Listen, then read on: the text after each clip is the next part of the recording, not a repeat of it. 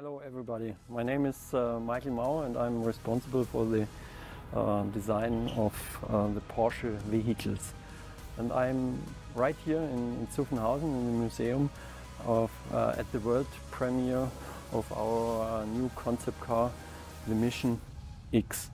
So now uh, we are celebrating 75 years um, of the Porsche brand. That's definitely a year um, of dreams.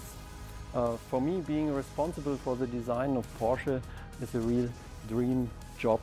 And uh, whenever uh, you get as a designer the opportunity to design um, concept car, uh, I would say that's like the ice on the cake because you have less limitations and especially if you talk about a concept car like the Mission X, which is a super sports car, it's in a row of very exciting super sports cars. We had the Carrera GT and the 918 Spyder and now the Mission X. So the Mission X is as well a little bit pinpointing uh, how the future, you could say, of Porsche could look like. Uh, we have basically further dreamed our design DNA, which is based on design principles. And uh, that's what we are showcasing here as well on this car. For example, in the front, our very significant light signature uh, with these uh, four elements.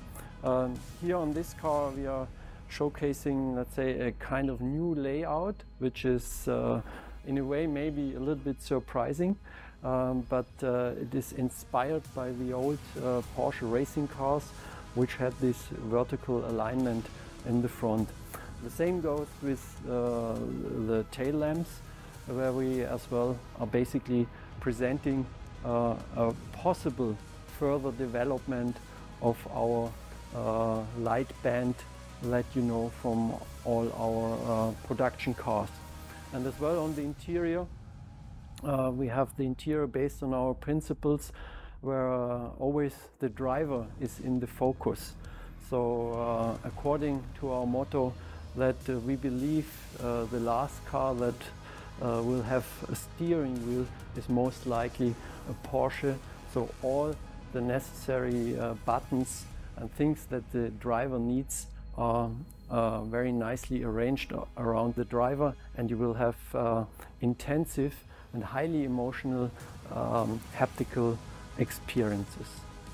So I hope you will like the car and uh, just keep on dreaming. Thank you very much.